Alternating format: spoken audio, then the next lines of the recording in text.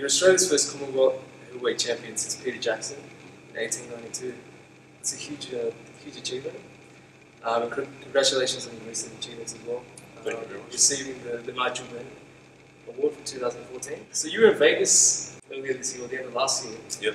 for the World Boxing uh, Council convention.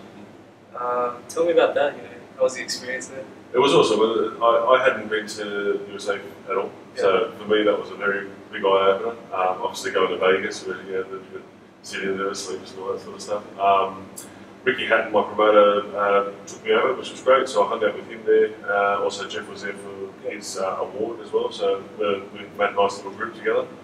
Um, it was just very humbling to be in the same room with all these stars, whether they're former or, or um, current. So yeah, people like Mayweather and Holyfield and De La Hoya, they're all sort of standing there. And, I was in one particular section of the room where the champions had to sit. And they called out the particular names of all the champions, and I was called out as well because I've, got a WBC title as one of the lower level ones. Um, and to be called out with those people in the with those those names sort of thing was it's very humbling, obviously, but it's, it's something you, you sort of you can get used to, you know what I mean? So for me, um, it was good. I was there for three days. They had all their all their sort of behind the scenes stuff the WBC do with sanctioning and all that sort of stuff. But um, to basically be in, in the hotel with these all these guys for three days was absolutely unreal. Um, I saw a photo um, you took with uh, Ron Jeremy. Yes, that was actually on the way there. The Yeah. first the first photo I taken was with Ron Jeremy. So we're sitting there at the, at the uh, LAX, to be honest, and um, we said, "Do you want to take a photo?" We just had a chat. Um, obviously, very nice guy. Actually, looked and smelled like he was a homeless bum, to be honest, but um, but an absolute gentleman and, and champion. But yeah, we all know what he's, he's obviously famous for. And it was it was good to sort of get him as my first photo. Yeah. That's awesome. Tell me what it's like to be trained by Jeff Fenech, who uh, we all know he's one of the world's best featherweight champions. He also trained Mike Tyson. So does it like being uh, under his, his wing? It's, it's one of those things I've never really, um, especially the time I was over in Perth and Neil, so I didn't really have a trainer, so to speak. I had a few people that were sort of doing pads for me and things like that, but it got to the point where I didn't think I was learning anything off them. Um, hence the reason I'm back here now in Sydney, and Jeff reached out to me, so we've, we've had a little dinner and had a discussion, and I'm training underneath him now, which is great. Um, it's one of those things where I, I really do look at him and I, I do listen. I know he's got a lot of a lot of information to give and a lot of uh, knowledge to sort of uh, unload on me. So I do actually listen to everything he says, even though he talks 100 miles an hour and never shuts up. But I, I listen to everything he says, and it, and it has actually helped a lot in um, in my boxing. I, I need to learn all the little basics that I didn't learn through amateurs, etc., like that. So I've got the power, I've got the skill over the else. As long as I've got the fitness, obviously. So Jeff's just fine tuning all those little and tweaking all those little things I need to get tweaked. So um, at this point, it's, it's a match made in heaven, and it's really come on well. That's awesome. Lucas, you, you grew up in Granville. Uh, what sports were you into competitively back, back in your youth? And uh, who were some of your, your sporting idols or influences uh, growing up? Basically, um, yeah, Granville was a, a lovely place to grow up. Um, most of my friends were the Lebanese or Islander, um, so I was the, the white boy out sort of thing.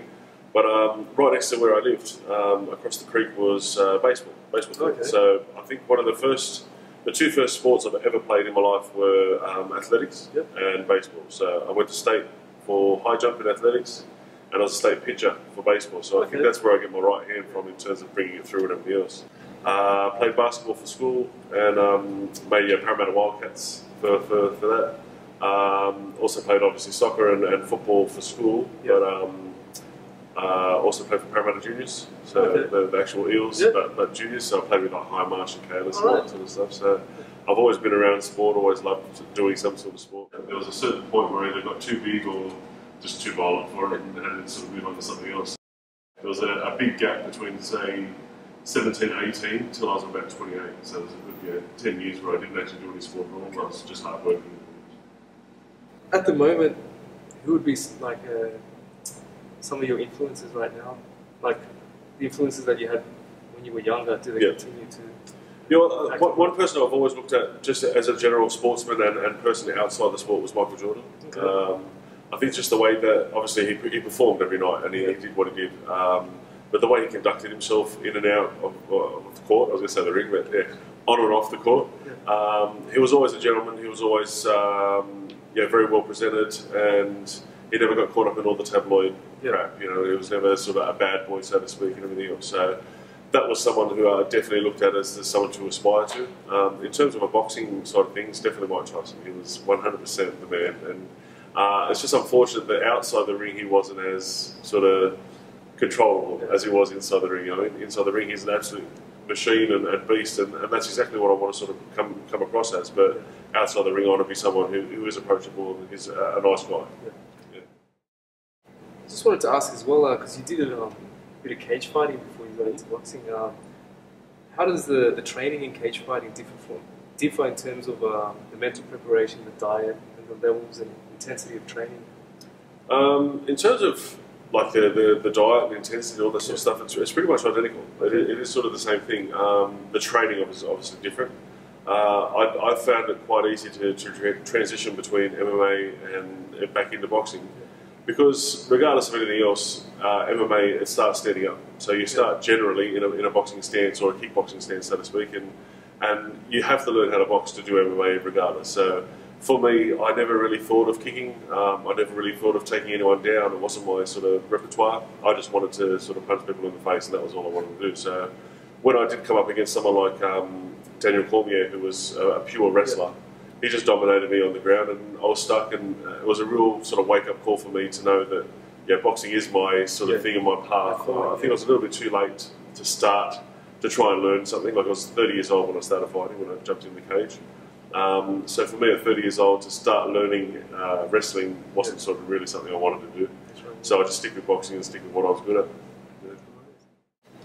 Going back to when you won your, your first fight at the, at the Manly Leagues Club, um, what were the like the kind of emotions that ran through you that day, like after winning, and um, and did you always have a gut feeling that you know you, you travel this far, you get to the point that you are at today? To be honest, um, it was actually a really weird month for me that, that particular month because I had my first cage fight um, the week after I had my first kickboxing fight, Yeah.